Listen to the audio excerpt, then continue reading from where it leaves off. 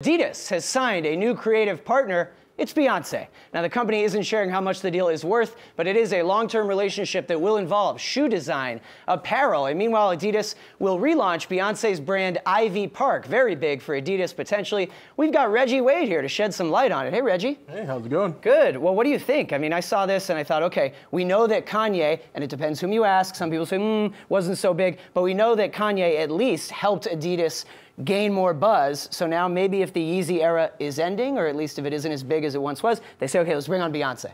I think so. Uh, Nike's on top of the food chain, but Adidas is really the brand for the cool people, where the influencers want to be, oh. the Kanyes of the world, the Beyoncés of the world. So I really think it's a good strategy for Adidas. Like, all right, we can't take on Nike this way, let's take them on that way.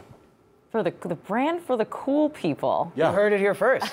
now, see, what's interesting to me about this, we have uh, heard from various sports apparel experts that athlete endorsement deals aren't as valuable as they once were, that right. it's silly when brands pay a lot to get an athlete. Instead, Adidas is basically saying, okay, the one thing we will still pay a lot for, a celebrity. Yes. Yeah, but it's Queen Bee, and I'm long Queen Bee, so yeah. I mean, anything she touches everyone's going to love. So. I was going to say, so I mean, obviously Adidas struggles going up against Nike essentially on the shoe front, right? But athleisure is huge and, it, and it's growing every year. So I mean, essentially, is this the way that Adidas is going to be able to take a bite out of Nike, right? Going for athleisure um, and athletic apparel. I think it is. I think we're going to see a, a battlefront on the women's wear line because Nike has put huge investments in its women's line.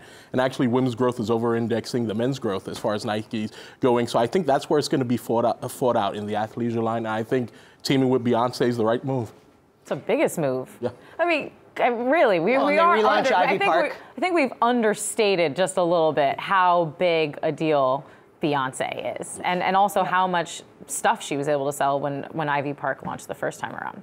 Yeah, it's absolutely huge. I can't wait to see it, and hopefully we get some of the stuff on here. And I I think it's going to be a big deal. Yep. And let's keep Reggie here. Reggie, we love talking about new sneaker collabs. Always fun on the show. And right now we have the Vans David Bowie sneaker. Look at this. Oh, nice catch. That looks Thank like you. it could fit me. They that looks like my that. size. Like, I like this a lot. No, there was no practice. Yep. Um, but Reggie, we like to ask you your take because I feel like I trust you on which sneakers actually look good and which ones look cool. What do you think of the Vans David Bowie sneaker? I like them. Not for me. Oh, no. I wouldn't rock the Vans David Bowie, but I think it's great. This is really the themed era in sneakers.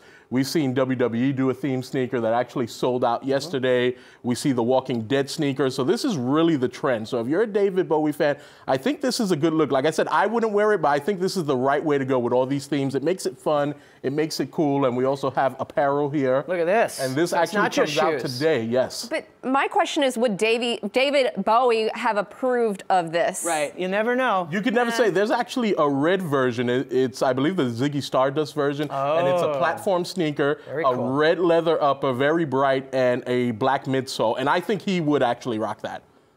Well, yeah. You know, it's funny. Know. Whenever we do these collabs, and I often think like, you don't have to obviously be a fan of the. It helps, but many people would just see the shoe and think this looks cool. Like yesterday, you were wearing the Game of Thrones themed yes. with those Adidas sneakers, yes. mm-hmm. and someone could see those and not even know they were GOT. Now with this one though, look, well, it, it, says, says Bowie, Bowie in big text. Bowie. They could have put the the lightning bolt, but right. not the Bowie. But that's what I'm saying. Like you wouldn't buy this shoe unless you are someone who goes around and says, "I'm a huge David Bowie fan." Well, yeah. I I just how many Bowie fans are also like Vans consumers. I, I, think right? a lot. How, Vans, how big Vans is he came out. Maybe a good amount. Vans came out in '66 with the skater culture. Um, Ziggy Stardust, aka David Bowie, was very big in the '70s. A lot of people, a lot of skaters were wearing these shoes. So I think it's the right demographic that hit him with this.